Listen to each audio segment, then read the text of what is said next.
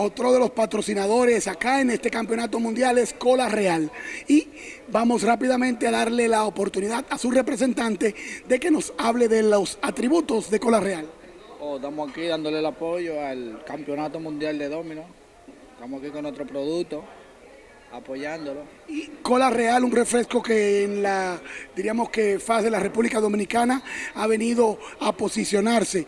¿Qué puedes tú decirnos de lo que es este vínculo en el dominó y el apoyo de Cola Real con sus productos? No, nosotros, Cola Real es una compañía que siempre está activa con lo, con lo que es los campeonatos mundiales aquí de este país. Siempre está apoyando, esa es una de las grandes. ¿Nombre? Gerardo Amador. Esa es una de las grandes virtudes que tiene la compañía, que ella siempre apoya a estos eventos. Bueno, ya ustedes han escuchado, a mí el que me gusta es el de piña. Este de piña me encanta. Cola real, refrescante. Y, por supuesto, en el Campeonato Mundial de Dominó está presente. Nosotros continuamos.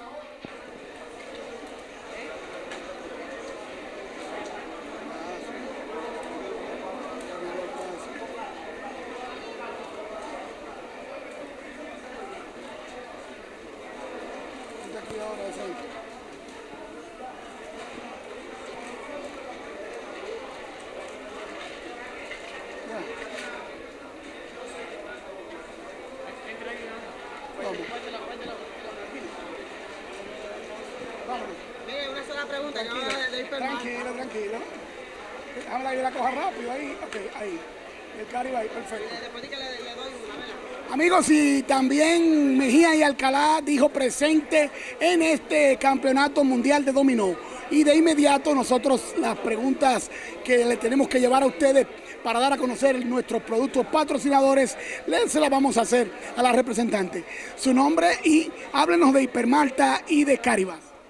Hola, hola, mi nombre es Rini Moya y aquí estamos con la nutrición de Mejía Alcalá para ofrecerle con la Caribia nuestro ginger el mejor para refrescar.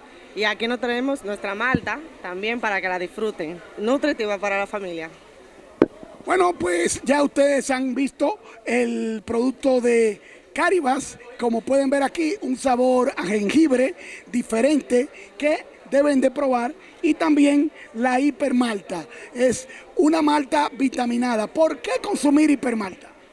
Hipermalta es una bebida que alimenta para toda la familia y nutritiva. Y nosotros en el Dominó sumamente agradecidos porque también nos están apoyando en la cobertura del tercer campeonato mundial de Dominó. Continuamos.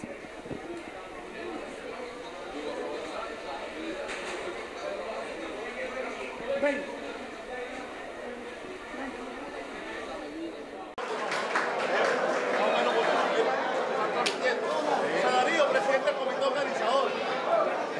Iván Chirino de Prueba y Roque Malesté y un servidor Luis Martínez, director técnico de la competencia. Saludos Venezuela, saludos República Dominicana y a todos. Por ahí tenemos al oso. Oh, Cinco, ven acá. Mira, oh, dile algo a la gente. Tremendo atleta de unión. Mira ahí. muy buena, buena organización, buen sistema, buena logística. Felicitaciones a la, a la administración. Gracias.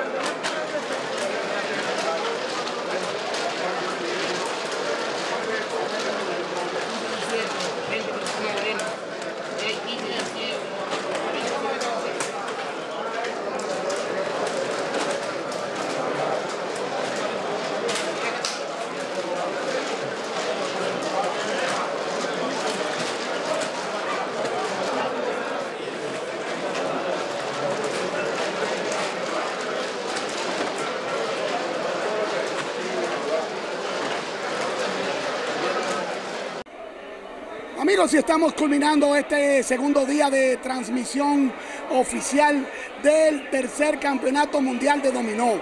Un evento apoteóxico que inició con un acto inaugural con las principales autoridades del país. Luego cerró con un espectáculo musical amenizado por la Orquesta de la Armada Dominicana y el Ballet Folclórico Nacional. Ahora ya han acontecido dos rondas. La primera de individuales que ha colocado a tres dominicanos, a Miguel Torres, Miguel Casado y a Ricardo Montaz en la primera posición, mientras que la ronda de equipos pues ha sido dominada por el equipo de Harlington de los Estados Unidos. También hay un equipo de la República Dominicana, el Cibao Club, otro de Barbados y en la cuarta posición un equipo de San Cristóbal hasta el momento. En el día de mañana, el cierre de este campeonato viene con grandes noticias. ¿Cuál será la próxima sede del campeonato mundial? Porque la Federación Mundial de Dominó se reúne en asamblea en el día de mañana para decidir eso. También las rondas finales de individual y por equipos, jugándose los 30 mil dólares, 424 atletas, 106 manos más desde este Hotel Catalonia. Quien les habla, Generoso Castillo, Manuel Rodríguez en las cámaras, les dice a ustedes, hasta mañana.